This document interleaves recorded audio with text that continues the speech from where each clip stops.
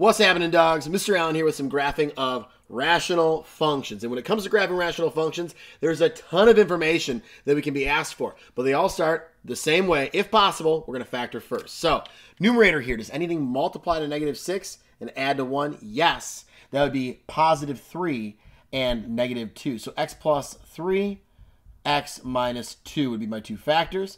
And then in my denominator, does anything multiply to positive 2 while adding the negative 3. Yes.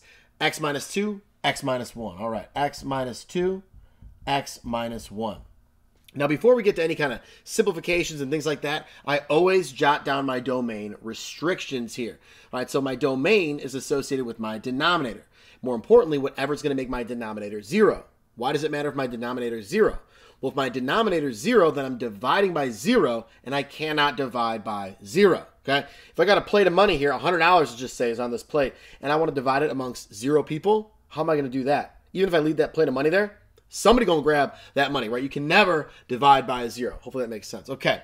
So my domain is all real numbers except positive 2, positive 1. So we're going to say x cannot equal positive 2 and positive 1. Some teachers might want you to say the part like the x equals all real numbers except and then write down these restrictions. I'm going to keep it nice and neat. I think putting down those two numbers that it can't be, clear enough, okay? Now, range I'm going to deal with a little bit later, all right? But I'm going to go back to my equation here, and I notice I can cancel those two out. Well, what does that become? That becomes a removable discontinuity, aka a hole, all right, aka hole in the graph. All right. So you could it's it's commonly referred to as a hole in the graph. The more formal uh, term for it would be removable discontinuity, right? Especially on higher level math classes like pre-calc honors, AP calculus, you're going to see that removable discontinuity phrase uh, a little more often than you would see hole in the graph. But that's what it is. All right. Now, what does this tell me? Well, this tells me that I have a hole at uh, positive two for x, but I can also get a y value. Now, this doesn't actually exist on the graph. We're going to use it to graph it. It's going to be an open circle, but I can get my y value that this graph is going to be approaching from the left and the right-hand side. That's a future to limits. Ooh, ooh, man, I'm getting ahead of myself. I'm getting excited. All right, but how do we get that y value?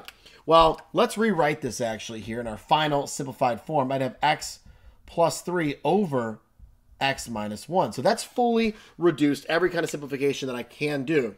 And I can use I can use this to plug it in to the simplified form, not the original, because then I would get 0 over 0 that's undefined, but in the new one here, and I can get a y value, okay? So I'm going to have 2 plus 3 over 2 minus 1. So that's going to be, what, 5 over 1?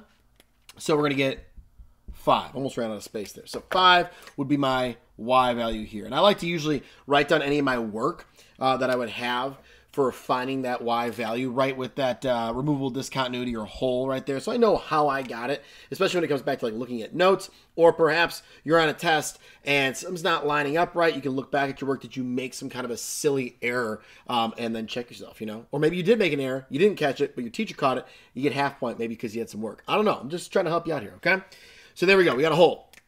Now, whatever's left in my denominator, x minus 1 here, that's still going to be, you know, part of my domain restrictions. It's going to be some sort of a graphical feature, but it's not going to be really part of the graph, okay? It's an asymptote, okay? We use them when graphing rationals, but they're not actually points that are on the graph, but we still use them to form them, okay? So my vertical asymptote is whatever's left in that denominator there. In this case, it's x equals 1. That would make it undefined, okay? You got to have the x equals here for a vertical asymptote or horizontal asymptote would be y equals because it's an equation of a line, okay? So I'm actually going to pop that on here right now. x equals 1, that is going to be a dashed line, vertical line, x equals 1. All right. And I'll even pop it next to it. It's nice. It's formal, okay? Very neat. All righty, how about my, my horizontal asymptote? Let's go with that here. So my horizontal asymptote, there's actually some rules involved here. If my degree in my numerator and my degree in the denominator are the same thing, as my values for x that I'm plugging in get infinitely larger, more positive, or infinitely larger negative numbers, right? Like negative a million, negative 10 million, whatever. The numerator and denominator are going to even each other out. These, like the x, the negative 3x, the minus 6, the plus, those are insignificant when we get to huge x values. If I take a million, I square it, that's way bigger than just a million or way bigger than negative 3 million, right? So these all become insignificant. It's just these two here. So since x squared and x squared are the same thing, anything divided by itself is equal to 1. So if you were to look at a table, you would see as I get really big x values or really negative x values that our graph tends to that y value of 1. So that's our horizontal asymptote. All right, so now I'm going to go ahead and jot in the y equals 1 line. And this is, you know, totally a coincidence that we had x equals 1 for a vertical asymptote and y equals 1 for a horizontal asymptote. They do are not always going to be the same thing. They're in no relation with each other in that way, okay? All right, what else we got here? So x and y intercepts. Do you remember how we get those? Well, if I want to get a y-intercept, that's that's actually the easier one to get oftentimes. I can just plug in 0 for x. And I'm going to put down 0 here, right, for my x value. And if I know my x value is 0, I can plug that in and get my y value. So we'll show a little work on that, right?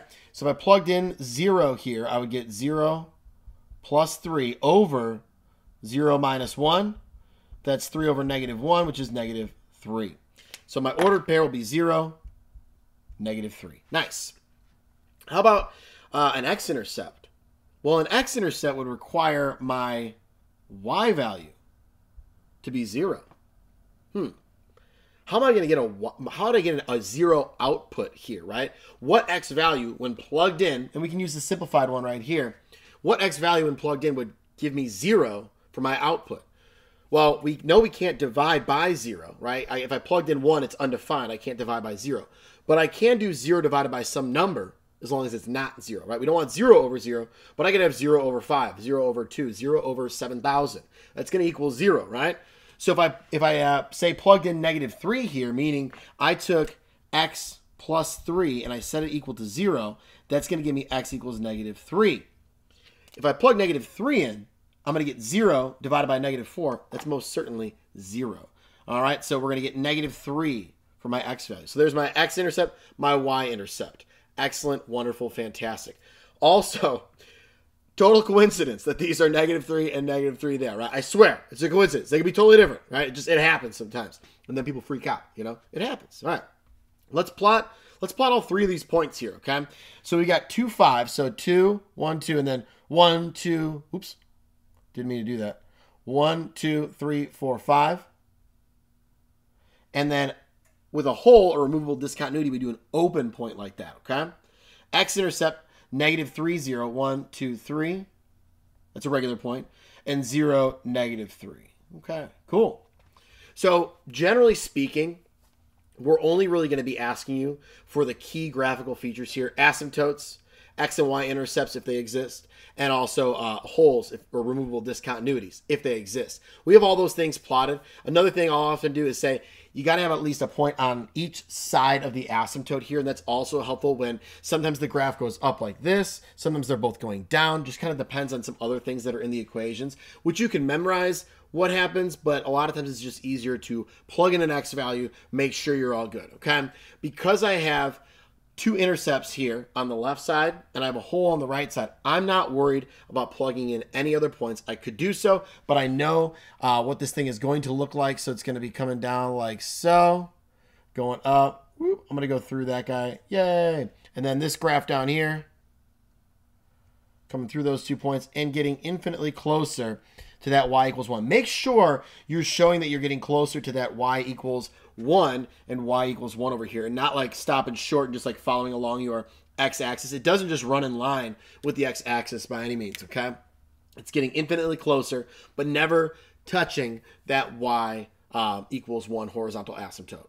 You can, you can cross over and come back to the horizontal asymptote, but you'll only cross over it, then you'll reapproach it. That's a little more advanced. Maybe another problem, another video, another time. Um, but for this one here, it's just going to get infinitely closer to it. It'll never, ever cross or touch a vertical asymptote. Never ever cross or touch those. The horizontal asymptotes are the kind of the weird ones where you can cross them, come back, or you might just cross right over it.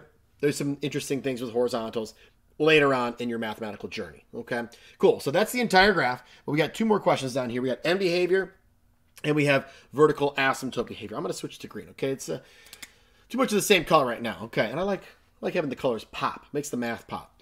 End behavior. We're talking about as x approaches negative infinity. Meaning as I go to the left side of the graph, we're going to be approaching 1. So f of x approaches 1. And as x approaches positive infinity, f of x approaches whoop, 1. So your end behavior is going to always match, always match your horizontal asymptote value right there if you have a horizontal asymptote, okay? So it will always match the horizontal asymptote if you have one. There are things called like oblique asymptotes, they're slants. Again, that's other stuff, not in this video, okay? Next one, vertical asymptote behavior. So we're talking about what's happening here at x equals 1. Well, there's two different things happening. We're going up on the right-hand side, we're going down on the left-hand side. If only there was some mathematical notation to dictate what side I'm coming from. There is, okay?